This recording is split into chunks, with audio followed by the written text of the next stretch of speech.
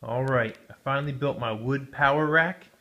Um, I just want to go over this on video because when I was researching it, it was kind of hard to get um, some really good detailed info. I mean, I got detailed info, but a lot of it was just pictures, so there was no real videos going over it.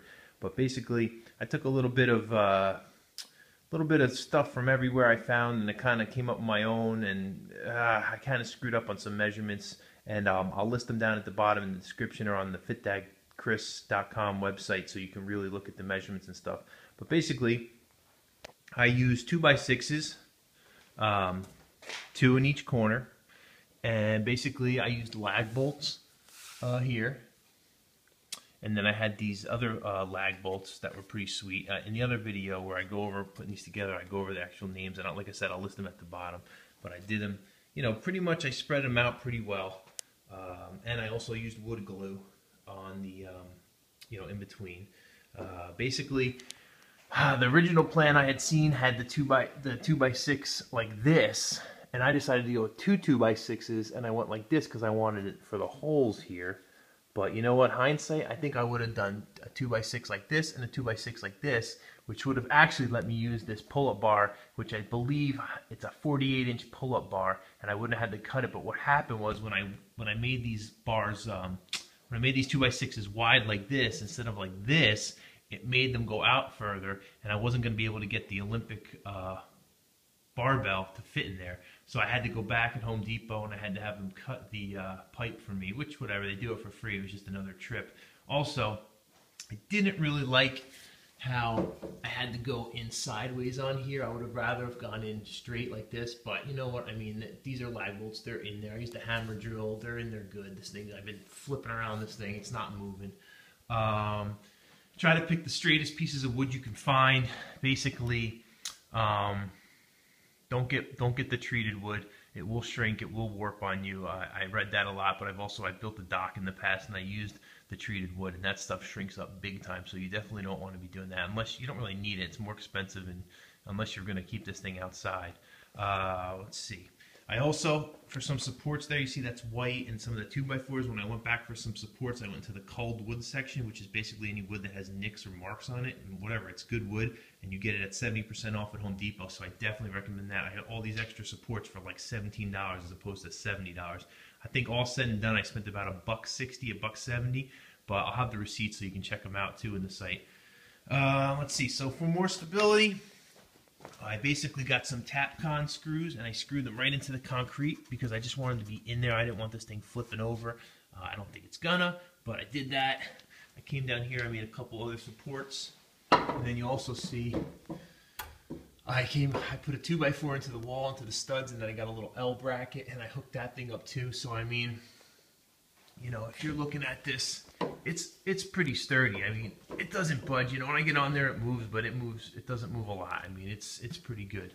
Um, I ended up using um, piping. I think this was four inches or three and a half inch. Like I said, I'll have all the detailed listed down there. You know, I, I, I did this and I, I don't remember all the exact stuff, but I'll have it all written out for you. So in reality, um, you know, this is going in there. What I could do is, uh, well, I'm not going to take it off, but this just screws off unscrew that, bam, take it off. Got a one inch washer there. Same thing here.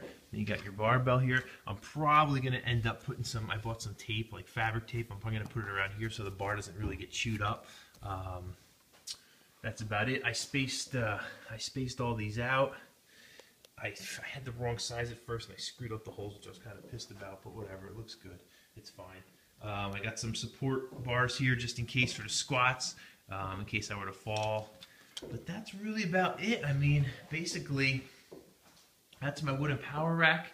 Um, I got some more supports, 2x4 supports up here.